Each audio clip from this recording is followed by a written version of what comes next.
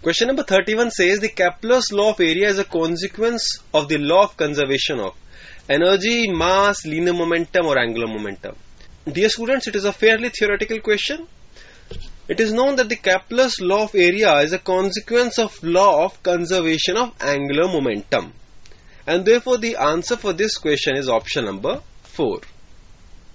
Now let us proceed to the question number 32. Question number 32 says escape speed from the earth's surface is VE. The escape speed from the surface of a planet whose radius is half and mean density is double that of the earth will be. Dear students, the escape speed can be written to be equal to RE under root of 4 by 3 pi rho g where rho is the density and RE is the radius.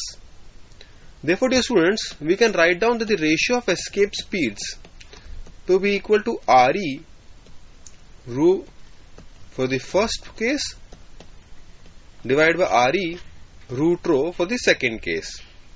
On substituting the given values, we can write that Re root rho divided by Re by 2 2 rho which will be equal to 1 divided by 1 by root 2 which will be equal to root 2 and hence the escape speed would be equal to 1 by root 2 times the escape speed on the earth which means that the option number 3 is the correct answer.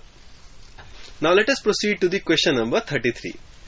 Question number 33 says if the earth stops rotating then the value of acceleration due to gravity at the AIIMS campus Delhi will be.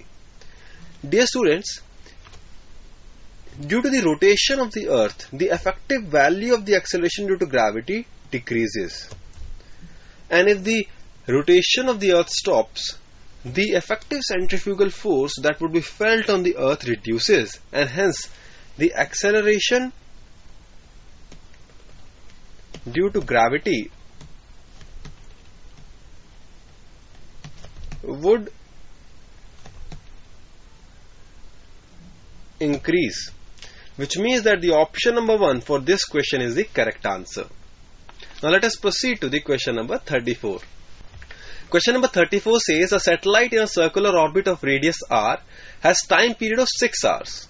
Another satellite revolving in an orbit of radius 4r around the same planet will have a time period. Dear students, according to Kepler's laws, t square is proportional to r cube, which we can also write that t is proportional to r to the power 3 by 2.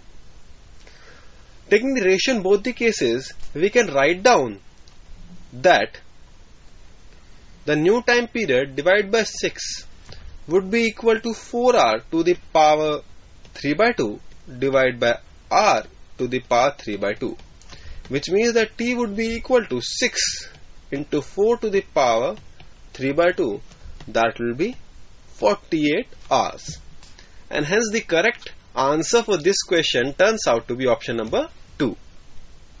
Now let us proceed to the question number 35. Question number 35 says four particles each of mass 2 kg are placed at vertices of a square of side 2 root 2 meters. The potential at the center of the square is.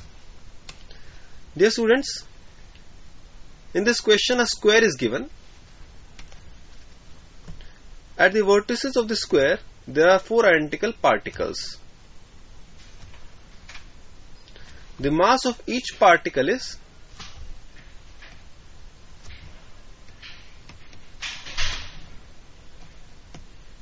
two kg and the side length of the square is 2 root 2 meters. We have to find out the potential at the center of the square.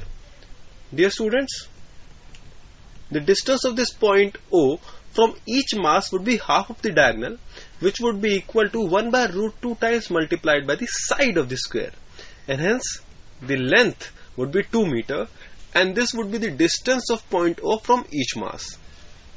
Dear students, we can write down the potential due to one mass to be equal to minus g into 2 by 2 that will be equal to minus g.